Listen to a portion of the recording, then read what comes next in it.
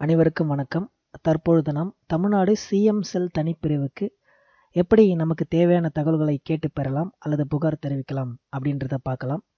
அதுக்கு முதல்ல ஏதாவது ஒரு ப்ரௌசரை ஓப்பன் பண்ணி சிஎம் செல் அப்படின்னு டைப் பண்ணி என்ட்ரு கொடுங்க.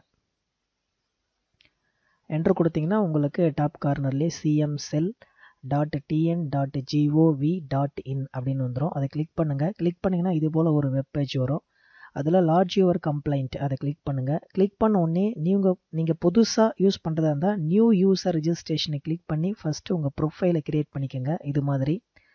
சிம்பிளாக தான் இருக்கும் அங்கே. உங்களுடைய initial name father name date of birth உங்களுடைய அட்ரஸ் இதுதான் இருக்கும். இப்போ காமிக்கிற மாதிரி இந்த டீட்டெயில்ஸ் தான் இருக்கும் அங்கே. ஜஸ்ட்டு இதை நீங்கள் இப்போ நான் பண்ணுற மாதிரி ஜஸ்ட் உங்களுடைய அட்ரஸை இன்சர்ட் பண்ணி ஃபில் பண்ணிக்கோங்க. ஜெண்டர்லாம் செலக்ட் பண்ணுங்கள் டேட் ஆஃப் பர்த் செலக்ட் பண்ணுங்கள்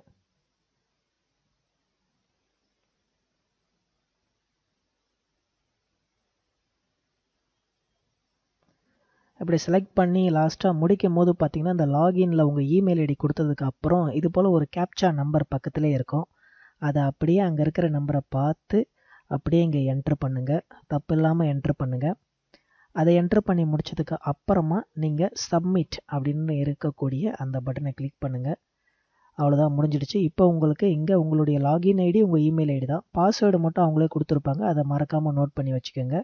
அதை பயன்படுத்தி தான் நீங்கள் லாகின் பண்ணி உங்களுடைய தகவல்களை அல்லது புகார் தெரிவிக்க வேண்டியவற்றை இங்கே தெரிவிக்க முடியும். ஸோ அதனால் பாஸ்வேர்டு ரொம்ப முக்கியம். அதுக்கப்புறம் லாகின் பட்டனை கிளிக் பண்ணி வழக்கம் போல தான் லாகின் ஐடியில் உங்கள் மெயில் ஐடியை போட்டுருங்க. பாஸ்வேர்டில் அங்கே கொடுத்துருக்கிற பாஸ்வேர்டை நீங்கள் இங்கே என்ட்ரு பண்ணிவிடுங்க என்ட்ரு பண்ணி முடிச்சிங்கன்னா கீழே வந்து பார்த்தீங்கன்னா அதே போல் ஒரு கேப்சா நம்பர் இருக்கும். அதை அப்படியே பார்த்து தப்பு இல்லாமல் இந்த செக்யூர் கோட் அப்படின்ற பாக்ஸில் பார்த்து என்ட்ரு பண்ணிவிட்டு இப்போ லாகின் கொடுத்தீங்கன்னா உங்களுக்கான பேஜ் வந்து ஓப்பன் ஆகும். அதுக்கு முன்னாடி உங்கள் ப்ரொஃபைல் வந்து கரெக்டாக இருக்கா அப்படின்னு செக் பண்ணிக்க சொல்லுவாங்க.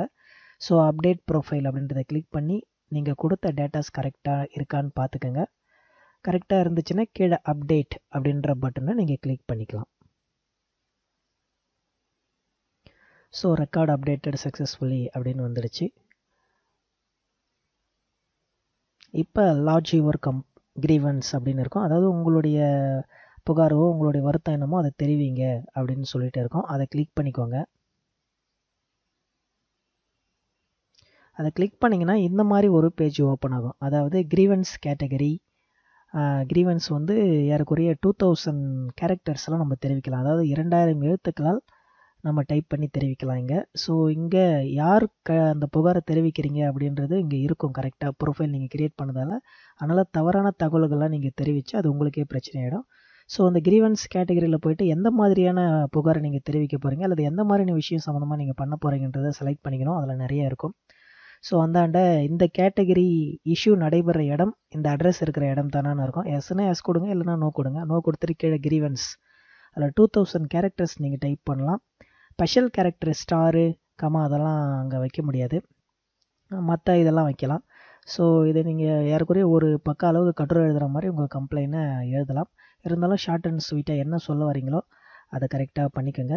தமிழில் டைப் பண்ணணும் அப்படின்னு நினச்சாலும் இங்கே தமிழ் வெர்ஷன் அவைலபிளாக இருக்குது நீங்கள் லாகின் பண்ணுற பேஜ்லேயே தமிழ் வெர்ஷன் இருக்கும். அதை கிளிக் பண்ணி கூட பண்ணிக்கலாம். இல்லை இங்கிலீஷ்னால் இந்த மாதிரி நீங்கள் அங்கே டைப் பண்ணிக்க வேண்டியதுதான். உண்மையான தகவலை மட்டுமே கேட்கணும் நீங்கள் விளையாட்டுக்காக எதனா பண்ணிங்கன்னா அது உங்களுக்கு பிரச்சனையாயிடும். ஸோ அந்த மாதிரி எதுவும் பண்ண வேணாம் ஸோ இப்போ இந்த தகவல் இந்த மாதிரி டைப் பண்ணிட்டீங்க அப்படின்னா கீழே மறுபடியும் ஒரு செக்யூர் கோடு கேப்சா இருக்கும். அதை அப்படியே பார்த்து தவறு இல்லாமல் என்ட்ரு பண்ணிக்கோங்க. என்ட்ரு பண்ணிவிட்டு சப்மிட் பண்ணுறதுக்கு முன்னாடி ஒரு டைம் கரெக்டாக பார்த்துட்டு சப்மிட் கொடுத்துருங்க. அவ்வளோதான் இப்போ முடிஞ்சு போச்சு சப்மிட் ஆகிடுச்சு இப்போ உங்களுடைய கம்ப்ளைண்ட் எந்த ஸ்டேட்டஸில் இருக்குது அப்படின்றத நீங்கள் வந்து ட்ராக் யுவர் கிரீவன்ஸை கிளிக் பண்ணிங்கன்னா அங்கே சொல்லுவாங்க. அண்டர் ப்ராசஸில் இருக்குது இப்போ தான் நான் பண்ணியிருக்கிறேன். அதுக்கப்புறம் அவங்க அக்செப்ட் பண்ணிட்டாங்கன்னா உங்கள் செல்லுக்கு வந்து ஒரு இமெயிலும் மெசேஜும் வந்துடும் அவ்வளோதான் நேரில் மீண்டும் ஒரு நல்ல வீடியோவில் உங்களை சந்திக்கிறேன். அன்டில் திஸ் ராம்ச்சி டேக் கேர் பை பை